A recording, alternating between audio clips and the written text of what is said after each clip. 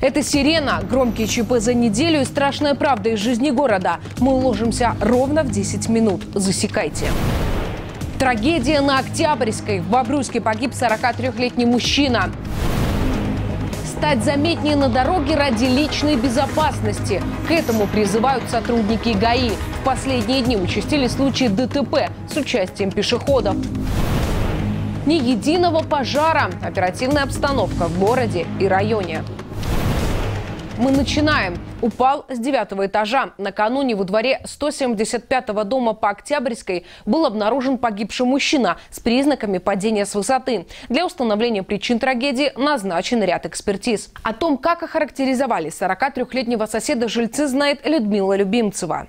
18 ноября около 9 вечера во дворе одной из многоэтажек города по Октябрьской было обнаружено тело 43-летнего мужчины. Смерть наступила в результате падения с высоты. На место происшествия выехала оперативно-следственная группа. Следователями проведен осмотр места происшествия, опрошены очевидцы и родственники погибшего. Для установления точной причины смерти э, назначена судебно-медицинская экспертиза. С целью установления причин и условий произошедшего Бобруйским межрайонным отделом Следственного комитета проводится проверка. О том, что в доме произошла трагедия, многие соседи узнали только от нашей съемочной группы. Это известие стало шоком. Все характеризуют погибшего исключительно с положительной стороны. И он с батьком жил.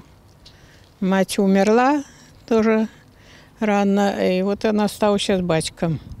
Ну, так все время вроде спокойный такой хлопец. А батька уже слабый, он на глаза не видит. Он сделал только операции, он его возил еще то в Могилево, тут Могилево. Он хороший парень был, хороший. И, и так вот я никогда его э, иногда, ну, встречала, он здоровается, и никогда он не был, что пьяный или все. Спокойный, я ничего не могу сказать. Ну, то есть вежливый, всегда здоровался? Здоровался, никаких проблем не было. Одна из соседок 43-летнего мужчины решила остаться в тени, но согласилась сказать нам несколько слов про жильца своего дома с девятого этажа. Я его часто встречала на улице, этого мужчину, который моложе. Он всегда здоровался, вполне адекватный, нормальный человек. А как так могло случиться, не знаете? Без понятия. Вчера было все тихо, ну как, милиция приходила, спрашивали, ну в это время я все была дома, ну вот и балкон, и окно открыто, я ничего не слышала, все тихо было и мирно. Вечер трагедии сотрудники Следственного комитета и судмедэксперты работали на месте происшествия. Что могло привести к гибели, предстоит выяснить правоохранительным органам. Людмила Любимцева, Андрей Богдан, Бобруйск, 360. За выходные на дорогах области в трех ДТП четыре человека погибли, шесть получили травмы. 17 ноября около 7 вечера на 176-м километре дороги Минск-Гомель в районе деревни Плеса неустановленным автомобилем был совершен наезд на 83-летнего местного жителя, который двигался по проезжей части с тележкой в попутном направлении. Затем на сбитого пешехода, лежащего на проезжей части, был совершен наезд автомобилем БМВ под управлением 31-летнего минчанина. В результате ДТП ДТП от полученных травм мужчина скончался на месте. Пешеход световозвращающими элементами не обозначен. Совместно с сотрудниками УГАИ УВД, э, Управления уголовного розыска и Бобруйского РОВД э, предварительно была установлена автомашина. Э, она принадлежала одной из частных фирм города Минска и управлял этой автомашиной житель города Минска 56 -го года рождения.